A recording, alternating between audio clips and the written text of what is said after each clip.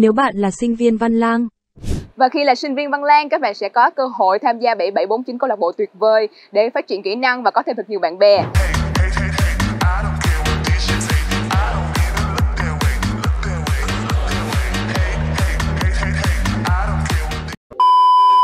Nếu là sinh viên Văn Lang, em sẽ dành cả thanh xuân để đi chảy hội.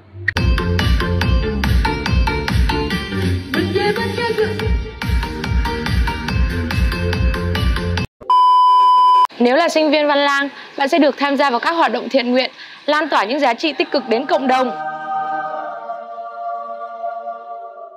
Khi là sinh viên Văn Lang, bạn sẽ đi học như đi fashion show. em bước ra em phải là con lót em phải quét sạch cái sàn diễn đó cho chị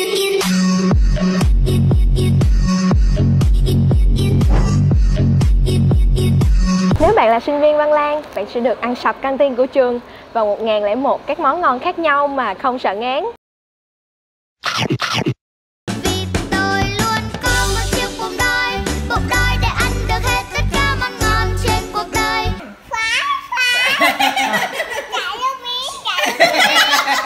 Nếu bạn là sinh viên Văn Lang, bạn sẽ được học 214 môn thể thao trong chương trình giáo dục thể chất và mình chọn môn Đá cầu. Watch me.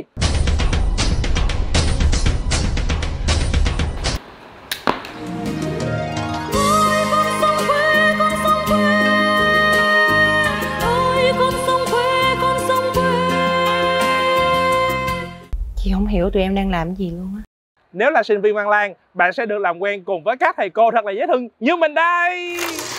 Vui lắm em ơi, lòng anh đang như mở hội. Xin chào tất cả các bạn học sinh K28 đến trường Đại học Văn Lang. mời để Chào mừng tất cả các bạn học sinh đến với trường Đại học Văn Lang. Hẹn gặp lại các bạn ở Văn Lang Hẹn gặp lại các bạn tại Văn Lang